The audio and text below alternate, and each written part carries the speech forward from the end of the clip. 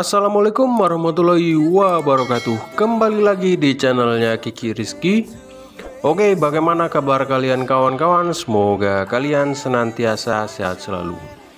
Oke masku sesuai janji saya kemarin ya Di video saya sebelumnya Di video kali ini saya akan berbagi tips dan trik Bagaimana cara untuk menonaktifkan ya Honda Traction Controlnya atau HSTC nya ya masku ya ini ada lambang ya di sampingnya. Ini ini Honda Traction Control ini terdapat pada tipe ABS saja ya yang non ABS nggak ada masku ya caranya bagaimana? Cukup simple dan mudah juga ya masku ya caranya cukup kalian tekan tombol select ini ya sampai keluar tulisan HSTC di speedometernya ya masku ya kalau udah keluar tulisan HSTC kayak gini kalian tekan set terus ya sampai tulisan T nya ini tercoreng masku ya atau atau nyala ya masku ya kalau udah nyala kayak gini otomatis HSTC nya udah nonaktif masku jadi tenaga dari mesin 160 ini langsung disalurkan ya.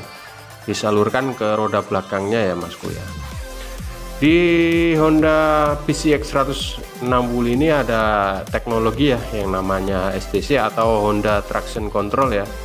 Ini fungsinya untuk apa sih mas? Sebenarnya fungsinya untuk biar roda belakang nggak selip ya pada saat posisi jalanan yang licin atau jalanan yang berdebu atau berpasir masku ya. Kalau selip roda belakangnya kan otomatis pasti akan itu ya jatuh ya masku ya Nah traction control ini fungsinya untuk ngurangin putaran di roda belakangnya ya masku ya Fungsinya sebenarnya HSTC itu ya masku ya Untuk di pemakaian harian normal memang agak berbet ya Atau rata-rata orangnya orang-orang yang nggak tahu ya Ada HSTC nya ini keluarnya berbet ya.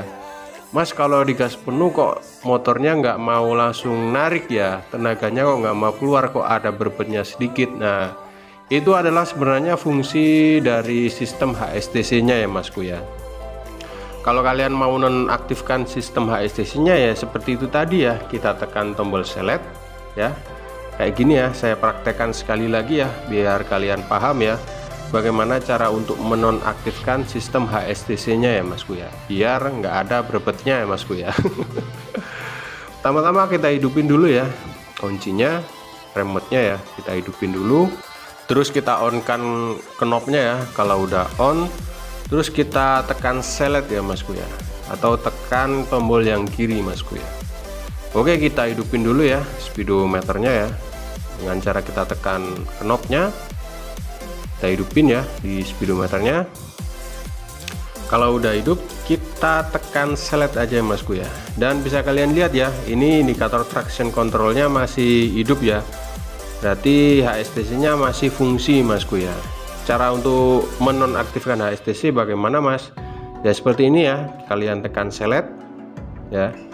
Sampai keluar tulisan HSTC di speedometernya ya masku ya nah ini kan udah keluar ya tulisan HSTC nya ya. Nah langkah selanjutnya adalah kita tekan tombol set ya. Kita tekan tombol set terus sampai tulisan T nya keluar ya atau muncul. Nah kalau udah keluar kayak gini otomatis sistem HSTC nya udah nonaktif masku cara untuk aktifinnya kembali gimana mas? Ada dua cara ya sebenarnya masku ya. Dengan cara seperti itu tadi ya kita tekan HSTC nya ya. Kita tekan tombol seletnya ya saya maksud ya. Kita tekan tombol seletnya sampai keluar tulisan HSTC di speedometernya kalau udah kita tekan set kembali masku ya kita tekan set kembali sampai tulisan T nya itu yang kecoreng tadi hilang masku ya atau bisa juga kalian langsung matikan knopnya ya. Matikan knopnya udah otomatis aktif kembali masku ya jadi nggak perlu bingung ya atau nggak perlu panik ya. Seperti ini saya contohkan ya. Saya matikan langsung terus saya hidupin lagi ya masku ya habis ini oke saya hidupin kembali. Dan traction controlnya udah aktif kembali ya masku jadi ini enggak nggak perlu panik ya kalau apa namanya udah nonaktifkan HSTC terus aktifinnya gimana mas? Ya ngaktifinnya cukup matiin aja ya matiin knopnya terus dihidupin lagi. Sistem HSTC nya udah aktif kembali masku ya. Cukup simpel dan mudah ya masku ya cara untuk menonaktifkan HSTC nya ya masku ya Oke masku. Jika kalian baru saja bergabung dengan channelnya Kiki Rizky silakan kalian subscribe channelnya Kiki Rizky dan bunyikan notifikasi lonceng agar kalian gak ketinggalan info terupdate terbaru seputaran otomotif dari saya Kiki Rizky. Dan tekan like jika kalian suka dengan video ini dan share ke teman-teman kalian jika video ini sekiranya bermanfaat untuk cara penyetelan jamnya juga udah saya buatkan ya di video saya sebelumnya. Bagaimana cara untuk menyetel jam di Honda PCX 160 dan reset oli ceng dan reset fan belt juga udah saya buatkan ya masku ya ntar videonya saya kasih di link deskripsi saja ya masku ya biar kalian paham dan mengerti ya.